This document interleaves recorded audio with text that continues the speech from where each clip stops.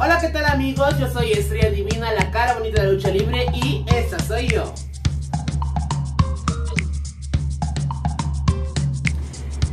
Estrella, en este momento vamos a tocar un tema que es este con referente a tu nombre. Para la gente que, que nos está viendo, eh, Estrella eh, es el nombre que con el que Estrella actualmente se le conoce, pero su pasado era Brando, entonces no es por falta de respeto, sino porque pues en aquel momento no estaba esta transición de, de, de Estrella, bueno, de Brando a Estrella, pues vamos a referirnos Cuéntanos a de la infancia de Brando. Eh, pues, ¿qué te puedo decir? Brando fue una persona nacida en Acapulco el 20 de septiembre de 1993. Papá, mamá, familias, de lo más normal. Eh, bueno, papá, mamá porque estaban mis abuelitos, pero hasta ahí. Fuera de ahí, nada fuera de lo común. Brando era feliz. Eh, considero que sí era feliz, puesto que siempre, siempre, siempre estuve eh, demasiado amor de mi familia. Eh, y al final de cuentas yo creo que eso es la felicidad, ¿no? Tener a quienes amas. Como todo niño, como toda persona tuve complejos, pero al final de cuentas tú me preguntas si fui feliz en mi infancia, yo te podría decir que sí. ¿Qué papel jugó tu mamá en tu infancia? Mm, mi mamá jugó un papel muy importante puesto que a la vez de que no estuvo muchos años, porque ya tuvo que trabajar muchos años, nos dejó bajo el cuidado de mis abuelos, que son como mis padres para mí. Entonces el hecho de que ella no estuviera tanto tiempo eh, fue un vacío muy grande por mucho tiempo, porque siempre tuvo que estar trabajando, trabajando, trabajando. Pero creo que al final de cuentas eh, me hubiera gustado siempre haber pasado más tiempo con ella, muchos momentos, ¿no? Creo que, que hay muchas cosas que me hubiera gustado más vivir con ella de pequeña, pero pues bueno, no se pudieron en su momento. ¿Tu papá qué, qué papel jugó en tu vida? Mi papá, pues yo creo que sí no tiene ningún papel en mi vida realmente y suena muy duro, suena muy feo y van a decir a lo mejor que qué mala onda, pero la verdad es que, pues sí, no, mi papá biológico es una persona que yo no conozco, que si lo vi fue una o dos veces en mi infancia eh, y la verdad creo que tuve muy malos recuerdos, muy malos momentos, eh, las veces que hemos tenido acercación, yo he sentido que no le interesa tener esa acercación conmigo, entonces prefiero a esa persona, pues lo respeto porque me cuentas yo creo que es mi padre, ¿no? Pero hasta ahí no tengo mucho que decir de, de la verdad. ¿Qué eh, papel jugaron tus abuelitos? Uy, no, pues todo, todo. Mis abuelitos los tengo tatuadas en mis hombros, son, son toda mi vida. Mi abuela es mi madre, es mi adoración, es mi pilar, es mi motivación. Ella es la que plantó la semilla para hacer la lucha libre. Mi abuelo es el que me enseñó a ser recta, el que me enseñó que se puede, el que me enseñó que siempre se puede más allá que no me debo de rendir. Y el que me ha estado apoyando desde el primer día que me vine a México a cumplir mi sueño y nunca me ha dejado sola ni un solo día. Cuando yo te digo a ti, Jairo, ¿qué viene a tu mente?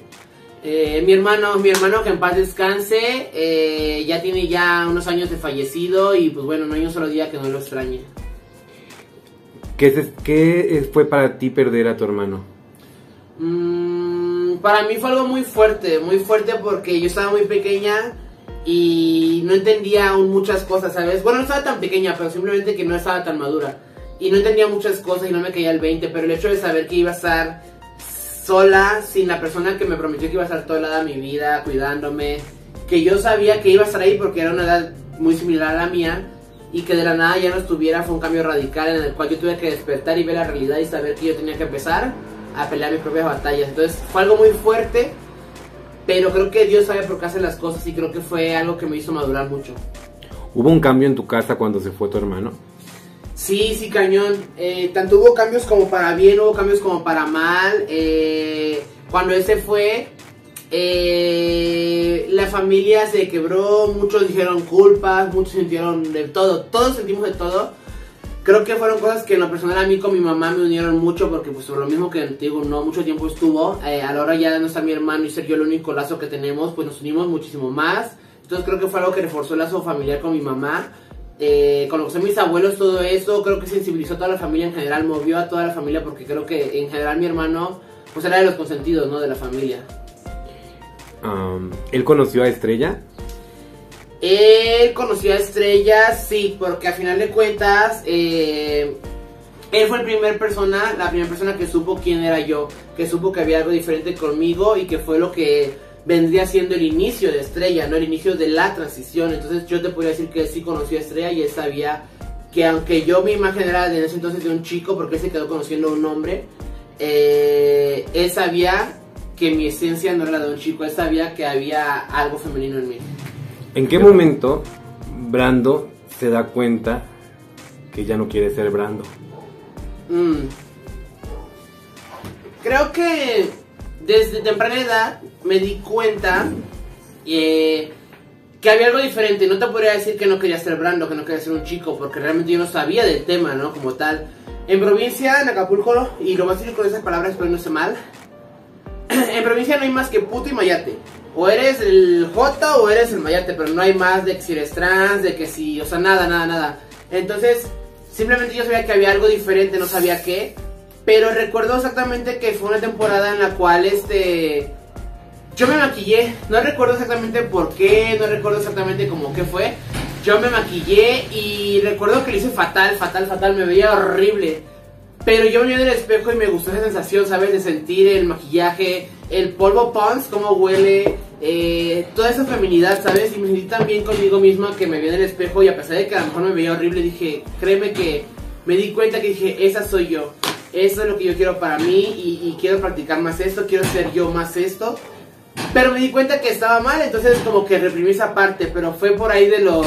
Uff. Cuando tomé las riendas de decir, ya, ya, ya, no puedo y tengo que ser yo, yo creo que fue por ahí de los 16, 17 años cuando empecé ya a tomar mis propias decisiones, de decir, ya basta, voy a empezar con esta vida, voy a empezar con estos cambios y empecé a tomar las riendas de mi vida y empecé a hacer eh, la transición. Podemos hablar de un tema en específico eh, que se llama la gárgola. Eh, pues bueno, la gárgola me vino a la memoria muchas cosas, ¿no? Eh, fue una persona de Acapulco que yo quise mucho, con quien tuve grandes vivencias. Eh, pues un compañero de vida incluso, ¿no? Que fue una persona muy importante para mí, ¿sabes? Porque independientemente de la lucha libre, el personaje o la persona bajo la máscara fue quien me enseñó grandes cosas, ¿sabes? Lamentablemente fue una persona que cuando llegó a mi vida yo no estaba lista para recibirla a la mejor y de mala forma me tocó aprender grandes lecciones de vida que hoy me han servido mucho para estar en paz. Pero yo creo que sin ese punto clave de esa persona en mi vida, creo que yo seguiría siendo un desmadre hoy en día si no hubiera pasado a esa persona por mi camino. Porque yo recuerdo un poco, tal vez este, yo que estoy un poquito más allegado a ti, que él como que fue parte del inicio también de Estrella, ¿no? O sea, de, de esa transición de, de- del chicanito a Estrella, ¿no? Sí, de hecho sí, porque fue la persona con la que yo me junté. Cuando yo estuve en el grupo eh, LLA, Lucha Libre Acapulco, yo tuve una relación con él, donde la conocí, lo conocí. Y fue la persona que me apoyó en todo. O sea, eh, yo no sabía ni qué onda conmigo, si yo iba a ser chico, si quería ser chica, si quería ser de hombre, de mujer. Eh, no sabía yo nada. Entonces yo le dije a él, ¿sabes qué? Creo que quiero hacer esto porque ya todos, ya sabes, sales a la calle con los fotos, con la... Yo digo fotos porque entre nosotros así nos decimos, pero no por otra cosa. Y entonces, no, que ponte hormona, no que ponte esto, no que acá, que acá. Y te meten tantas ideas que tú tienes la cabeza tan caliente que no sabes ni qué hacer. Pero es bueno tener una persona que te apoye y te diga, ¿sabes qué? Vamos a hacerlo. Si tú quieres hacerlo, vamos a hacerlo. Y me dio el valor total, el apoyo total para poder decir, ok, voy a iniciar con esa transición. Si me va bien, que padre. Si me va, si me va mal, pues ni modo, fue lo que yo quise hacer. Y me dio todo el apoyo del mundo y los huevotes del mundo para poder decir, aquí voy. ¿Cómo fue la primera vez que decidiste hormonizarte? Eh, la primera vez que yo decidí hormonizarme, pues es como el sueño americano, ¿no? La gente que se va al sueño americano a Estados Unidos es porque quiere una mejor vida, ¿no? Se supone. Lo mismo acá. Eh, las chicas trans, la mayoría no solamente quieren parecer chicas, ¿no? Sino que todavía quieren ser chicas voluptuosas, quieren ser chicas guapas, exuberantes, que llamen la atención. Entonces, no te basta con decir, ok, yo me siento femenina. Porque una transición no, no, se- no, se- no significa operarte, no significa meterte hormonas, no significa nada de esto. Una transición es quién tú eres, cómo tú te identificas, cómo tú te sientes a gusto con tu cuerpo. Lamentablemente vivimos en un sistema de que si no te ves de cierta forma no pasas, no te van a tratar eh, eh, como una chica en este caso. Entonces yo ya más o menos me imaginaba y conocía todo eso porque me fui dando cuenta en el transcurso de mi, de mi, de mi adolescencia cómo era este proceso. Y cuando me di cuenta que pues mi cara, mi rostro a lo mejor era agradable, era algo simpático como chico y con las hormonas podía feminizar un poco más esto porque es lo que todos me decían. Pues dije, ¿por qué no? No, si es lo que yo quiero. Entonces decidí hacerlo. Hablé con mi mamá, mi abuela, le dije, ¿sabes qué? Quiero inyectarme esto. Y me dijeron, ¿sabes qué? Esto está fatal, no te inyectes nada, no te hace falta. Como no me quisieron apoyar, yo aprendí a inyectarme sola. De hecho, las primeras hormonas que yo me puse me las puse así de, de adardo, de, de piquetazo en la pompa, porque pues yo no sabía inyectar y era algo que realmente quería hacer. Entonces me empecé a autohormonizar, que es lo peor que pueden hacer en el mundo, autohormonizarse porque te causa muchos problemas muy grandes. Y pues bueno, fue todo un rollo la historia de las hormonas. Entonces créanme que también les recomiendo que no lo hagan. Entonces, cuando tú comenzaste a hormonizarte, nunca viste a un experto. ¿Fue como por recomendación de, de tus amigos? Sí, sí, sí, claro. De hecho, la mayoría de las, de las chicas trans en la comunidad, la mayoría de las cotas, cuando empezamos como en tratamientos hormonales o así, es muy raro que alguien lo haga formalmente. ¿Por qué? Porque es un tema muy nuevo, ¿sabes? Que, que muchas no conocíamos en la adolescencia. Entonces, ¿qué pasa? Sales a, a, la estética, ¿no? Con la conocida, con la hermana, con la comadre, con la tía. Y, que te dicen, ay, hermana, sí, métete esto. O a mí me llegaron a decir que me metiera aceite de cocina, que los biopolímeros, tantas cosas de las cuales yo dije, yo creo que la hormona es la menos dañina por ser algo más natural que tu cuerpo asimila, ¿no? Pero al final de cuentas, eh, si no lo haces bien con un doctor que te diga, ¿sabes qué? Necesitas tantos miligramos de esto, tantos de esto. Porque no nada más es tomar hormona, es tomar bloqueadores de testosterona también. Porque si tú le metes, es, un, un, show, créeme. Entonces créeme que, que sí es muy importante que vayan con un doctor. Porque yo tuve grandes, grandes, grandes problemas eh, por autohormonizarme. Porque siempre malamente hacemos caso a los consejos de lo que nos dicen los mismos gremios, ¿no? De la comunidad, los mismos compañeros. Ahora, eh, ¿qué se siente haber estado en la lucha libre?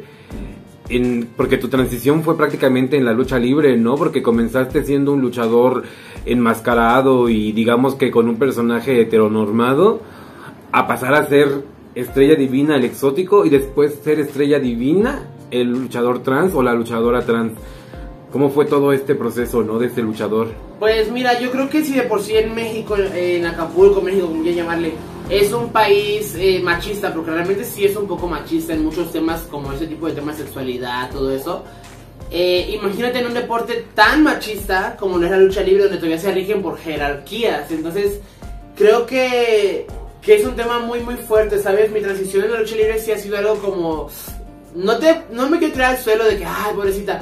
Pero yo creo que aquí es un tema muy nuevo porque la gente aquí en la lucha libre está tratada a, a acostumbrar con exóticos gays, con exóticos travestis que, que, van, se suben a un ring maquillados, pero abajo del ring son hombres y se identifican como hombres y hasta se hablan de qué carnal, como hombres. Entonces llega Estrella Divina ya a, a, a, a, o bueno, empieza a crecer Estrella Divina en este ambiente, ¿no? A decir, bueno, ok, yo no me siento un chico, yo no, no sé por qué, ¿no? Porque como te repito, yo en mi casa tuve mucho cariño, eh, mis parejas siempre han apoyado, entonces yo siempre en mi vida, yo he sido una chica desde que sí hacer esa transición, eh, me fui con todo, me fui con todos los pantalones del mundo y decir yo soy segura de lo que quiero hacer.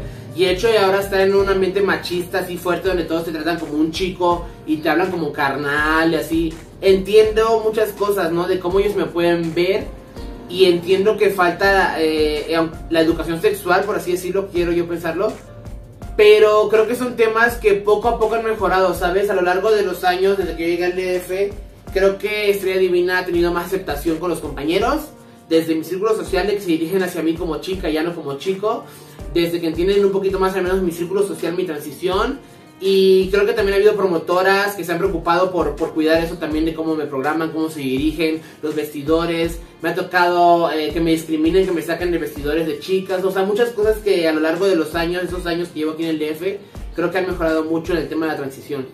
Pero sin embargo, sí, sí ha sido una batalla difícil.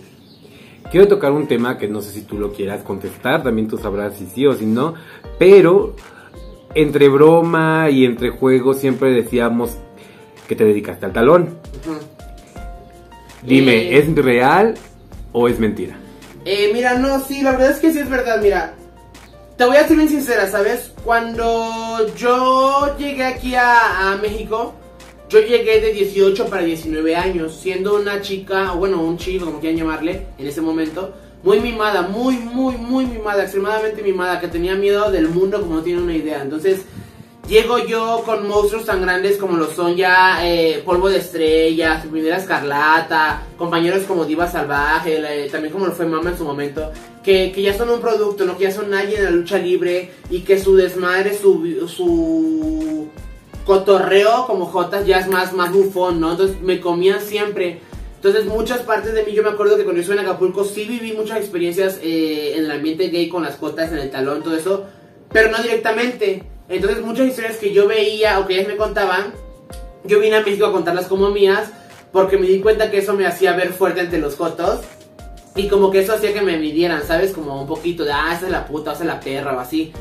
Malamente después me empezó a dar cosa porque todos me decían puta, puta, puta y cosas así. Entonces como que me friqueaba un poco. Pero sobre la marcha de esto, eh, ya vivieron aquí en México, cuando recién llegué, eh, que no me iba tan bien en AAA y todo esto, pues sí, no sí hubo momentos que tuve que, estar en ceros económicamente, que yo no quería molestar a mi papá ni a mi mamá, porque digo, si no les doy, no les quito, ya mucho hacen ellos para ayudarme con la renta, porque digo que me apoyan desde que me vine para acá. Y, y sí tuve que hacerlo, ¿sabes? Tuve que hacerlo. De hecho, un tiempo yo estuve viviendo por Chabacano. Eh, tuve que salir algunas veces a trabajar por ahí con mis compañeras, que son compañeras que quiero mucho, que las aprecio mucho, porque siempre me abrieron las puertas a más no poder. Eh, la vez que estuve también en Insurgentes con mi compañera Dayana, fue una compañera que me apoyó incondicionalmente y créeme que no es algo que me arrepienta, no es algo que me dé vergüenza, porque al final de cuentas creo que son cosas que te construyen como persona y, tampoco creo que sea algo que, que esté mal, ¿sabes? Entonces eh, yo tengo mi apoyo total para las personas que practican ese servicio, mi respeto total porque yo lo viví en carne propia y sé lo duro que es, entonces no es algo que me avergüence y pues sí es algo que sí pasó. ok. Vamos a regresar un poquito. ¿Cómo tomas la decisión de dejar todas tus comodidades y venirte a probar suerte a la Ciudad de México? Uy, pues mira, fueron un sinfín de cosas, no nada más fue de la lucha, no creo que fue la vida en general, yo así lo llamo. Eh, yo creo que la vida te da señales y si no la escuchas eh, es porque estás dormido, ¿no? La vida pasó en Acapulco, mataron a mi hermano.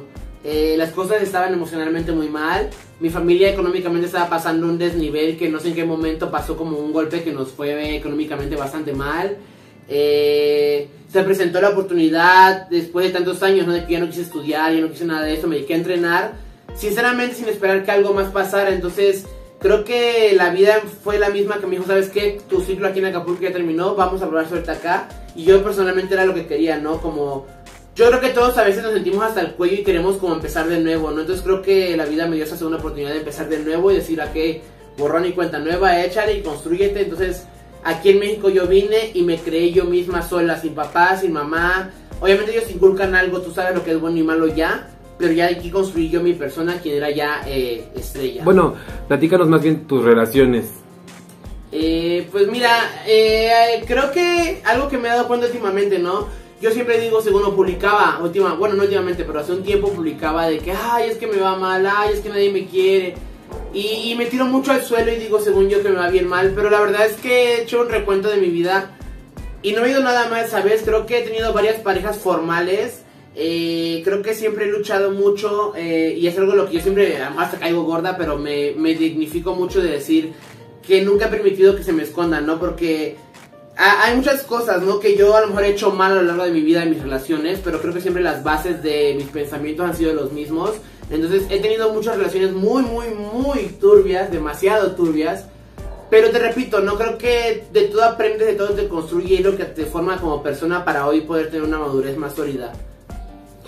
Ahora platícanos una relación que se terminó y fue la de AAA.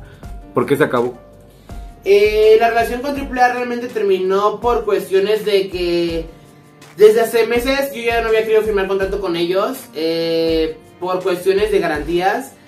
Eh, a lo cual yo seguía trabajando con ellos, seguía con todo normal, pero sin firmar contrato. A raíz de unos escándalos se supo de que yo ya no pertenecía a la empresa. Hablé con los directivos, les pregunté qué pasa, si ellos habían declarado lo contra mí, si me habían corrido. Me explicaron que no pasaba nada, que simplemente yo no quise firmar mi contrato, yo no tenía contrato con ellos, por lo cual yo no pertenecía a la empresa. Y que la empresa estaba en cuestión de pandemia, bueno, todo en general México estaba en pandemia, no había oficinas que una vez que se pudieran abrir las oficinas podríamos eh, ver en qué términos se podría quedar, hablar y ver qué pasaba. Entonces, de hecho es lo que estamos esperando todavía, seguimos en pandemia. Ahorita están realizando las cosas en la actualidad, veremos qué pasa y veremos si se puede ver que, que se arregla algo ahí. Si no, pues también no pasa nada de la mejor disposición de las gracias, pero pues me gustaría todavía tocar esa puerta a ver qué, qué puede pasar. ¿Qué es lo que te da tanto miedo a ti o qué es lo que más miedo te da a ti en esta vida? Uy, Pues yo creo que mi mayor, mayor, mayor miedo en la vida eh, es la soledad, ¿sabes? La soledad, el hecho de que no sé, el día que Dios no lo quiera, ya no tenga mis padres, bueno, mis abuelos, que son mis pilares, va a ser un golpe tremendo el día que mi madre no esté.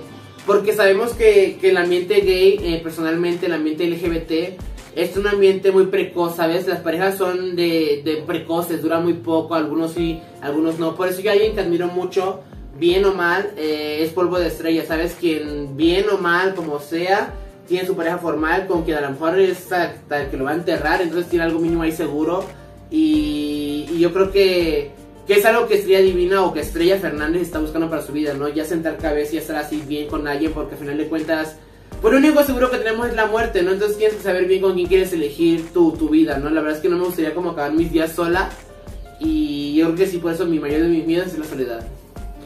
¿Cuál ha sido el peor momento de tu vida que tú lo hayas sufrido o algo que un momento que tú no quisieras que llegara a pasar?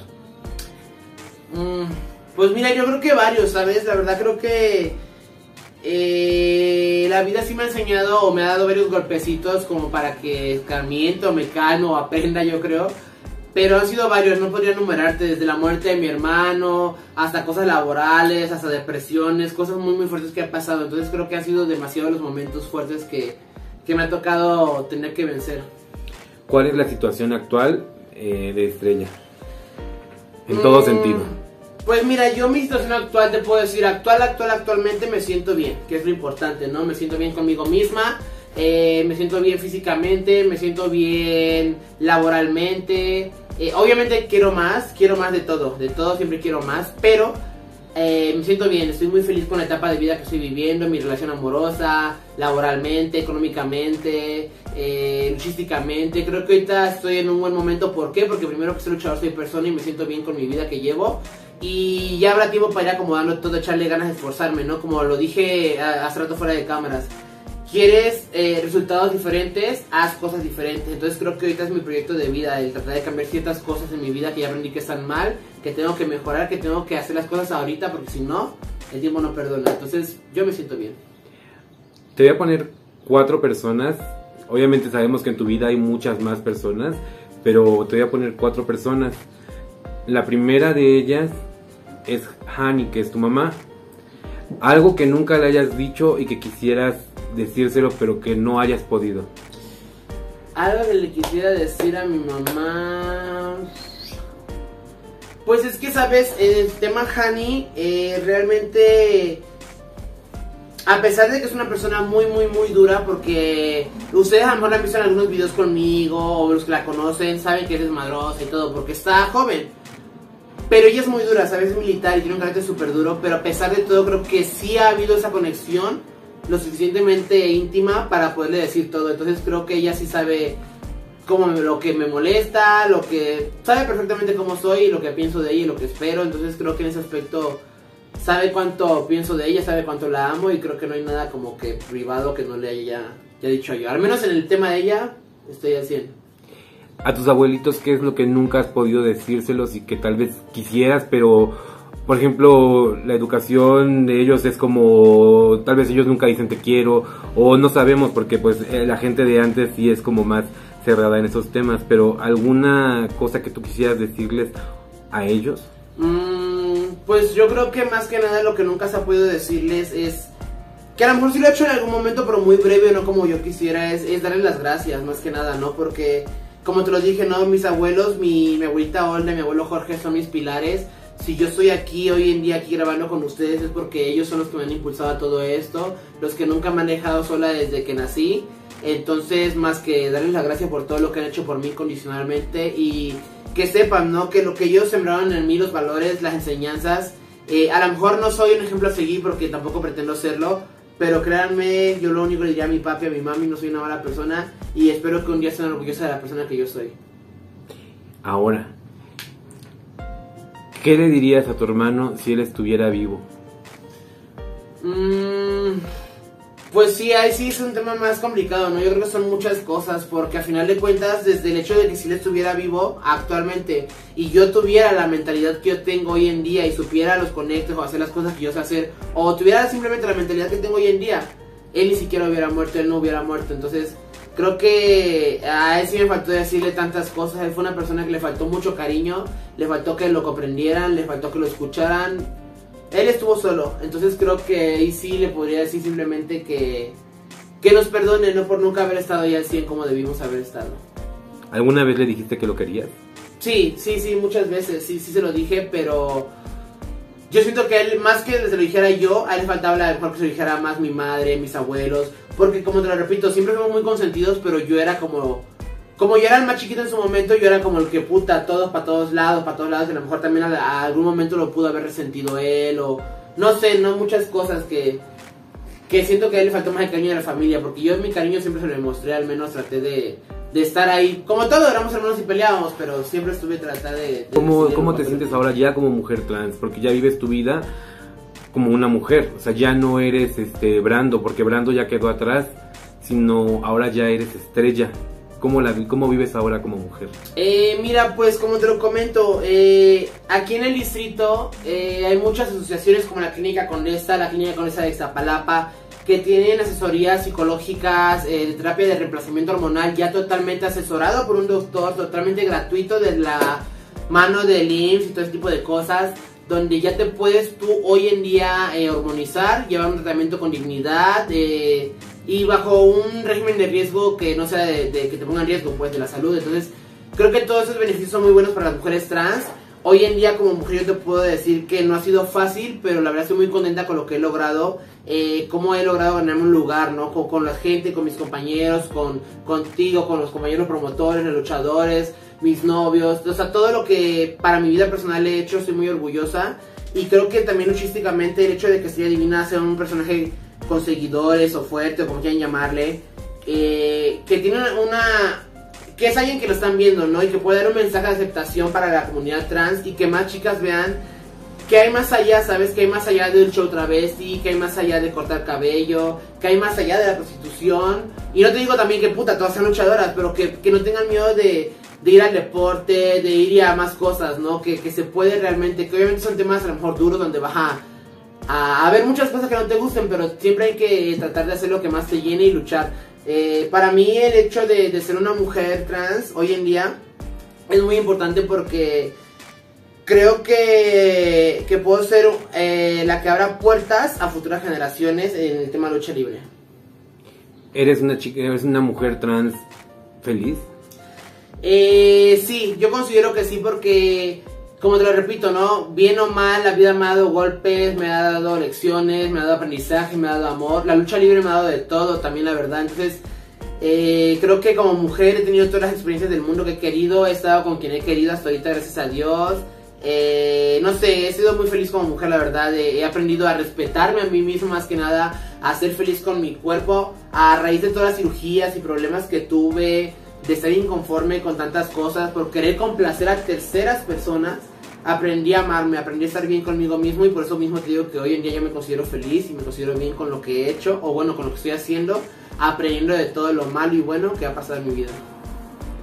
Regresando un poco a la lucha libre, ¿cómo fue tu reacción al enterarte de lo que pasó con Pasión Cristal? Pues mira, cuando me dijeron la verdad es que yo no, no, no lo creí. Porque hace cuenta que yo estaba en casa de Shani y tenía que hacer un depósito. Entonces iba en la moto y me mandaron un mensaje donde me dijo Shani, oye, se murió Pasión y caritas tristes. Y yo lo tomé a desmadre. Le dije, ay, no mames, no, güey, parece muerta, pero no, no se murió, qué mamona. Entonces para esto me checo, me clavo en el celular estar viendo, le marco a Diva, no me contesta, le marco a Jessie, no me contesta, le marco a Pasión y pues obviamente no contesta, ¿no? Entonces, eh, no me caía el 20, yo estuve como muy tranquila, entre comillas, pero ya estaba yo empezando como a sentirme mal porque yo, mira, al final de cuentas, eh, mucha gente puede decir, ay, no sé, la hipocresía o muchas cosas, es un tema muy, muy turbio últimamente, pero yo solamente les puedo decir que eh, al menos hubo un grupo pequeño que vivió en el castillo Jotero, que muchos, bueno, lo han conocido, y somos poquitos los que vivimos ahí, pero siempre vivimos grandes cosas, el día a día de vernos diario, a lo mejor tuvimos indiferencias en algún momento, después las arreglamos, como lo vieron últimamente ya estábamos juntas, o sea, créanme que fue algo muy fuerte, y el hecho de que eh, se vaya una persona del gremio exótico, somos poquitas las que estamos, y que se nos vaya una de nosotras, pues dices, no manches, ¿no? Sí se siente la verdad. Y aparte, no necesitas ser la mejor amiga de alguien, yo creo que por empatía como persona, eh, pues sientes las cosas, ¿no? Entonces créeme que sí, sí fue una pérdida bastante, bastante dura, que hasta la fecha no acabamos de asimilar. Algún mensaje que hubieras querido darle a, antes de que supieras, ¿no? De que realmente tal vez uno no valora a las personas cuando están vivas y no se atreve a decirle abiertamente eh, algo, ¿no? Algo bonito, porque normalmente, y más entre nosotros, que es como bufarnos, decirnos, y, pero nunca, pocas veces nos decimos como una palabra bonita. ¿Algo que quisieras decirle? Eh, pues mira, creo que en ese aspecto estoy entre comillas tranquila porque curiosamente días antes de su fallecimiento fuimos al cumpleaños de Polvo de Estrellas en el cual estuvimos echando desmar y todo de lo más normal como han visto en todos los videos. Al final ya este yo y Carrillo traíamos un carro y le dimos un raya pasión a su casa y por Tepalcates a lo cual veníamos platicando de la vida de Pasión, de cómo ella veía la vida. Y me di cuenta que Pasión también veía la vida de una forma muy dura por cosas que le tocó vivir, ¿sabes? Porque yo le decía, oye, Joto, ¿pero a poco ya no te quieres enamorar? ¿A poco no quieres tu pareja? Y ella me decía, no, es que para que me hagan algo y porque son culeros, o sea. Y me di cuenta que tenía una forma de ver la vida muy dura. Total que la plática de su vida fue muy padre, la verdad. Y llegamos al final a su casa, ¿no? Y ella me dijo, ¿sabes qué, Jota? Yo te quiero mucho. Y te lo juro por Dios que, que yo me quedé así como de qué pedo, ¿no? Porque saben cómo es pasión su carácter, la bufadera, cómo se dura. Y así dijo, ahora este Joto, ¿qué onda, no? Y dije, Joto, pues yo también te quiero mucho, pues eres buena bestia. Y ya se bajó, y yo me quedé con eso, ¿no? Y a los dos, tres días que fue lo de su fallecimiento, dije, ah, no mames, güey. Entonces, no sé, yo sí creo mucho esas cosas, no sé si ella a lo mejor pues como dicen por ahí, puede que ya presientas o sientas o por algo el destino te hace ese tipo de cosas. Entonces yo siento que a lo mejor se despidió de mí y tuve la oportunidad de decirle pues que la apreciaba a final de cuentas, ¿no? Porque sí es una persona que apreciaba.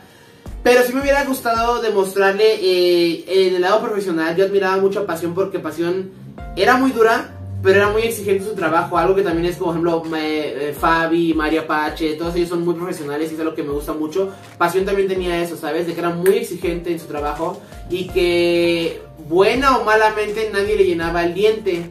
Entonces yo siempre quise también tratar de ser alguien que le pudiera llenar el diente porque sabía que Pasión era un hueso duro de roer y yo sabía que podía darle batalla. Entonces quería demostrarle que podía ser ese rival también para ella, ¿sabes? Porque profesionalmente era alguien que yo sí quería vencer, eh, profesionalmente todo en buena onda, obvio, y me hubiera gustado demostrarle más de mi calidad o poder yo aprender más de, de pasión también. Simplemente eso. Ok. Algo con lo que te quieras despedir de la gente, de un mensaje a la comunidad LGBT, a las chicas trans o a la gente que apenas va a comenzar su transición. Eh, pues mira, yo creo que el mensaje que me gustaría dejar para despedirme es este pues en general, ¿no? La, la vida pasa, el tiempo no perdona, vivan eh, con todo. Si tú quieres ser él, ella, mujer, demonio, lo que tú quieras, sélo. Eh, que tu gente que está cerca de ti te quiera, te respete y si no, créeme que siempre haber alguien para ti que esté apoyando, no tengas miedo. Y pues vive tu vida, vive tu vida porque es muy feo vivir escondidas, es muy feo no poder decir un te amo, es muy feo no poder salir a la calle siendo quien tú eres y no sabes lo bonito que es. Si tú quieres iniciar tu transición, anímate hoy, porque créeme que el tiempo pasa y no perdona. Y sé feliz, solamente eso. Sé feliz sin chingar a nadie más. Ok, pues ya, despídete. Besos, bebés. Síganme también en mis redes sociales. Me encuentran en TikTok como Estrella Fox. En YouTube también como Estrella Fox. Y en. ¿Qué más tengo? Ah, en Facebook como La Cara Bonita Lucha Libre y como Estrella Fox también. Para que me sigan. Cuídense mucho y nos vemos próximamente. Y ya, ese no es mi canal. ¿Qué digo, vecina? Bye. Bye. Nos vemos. Bye.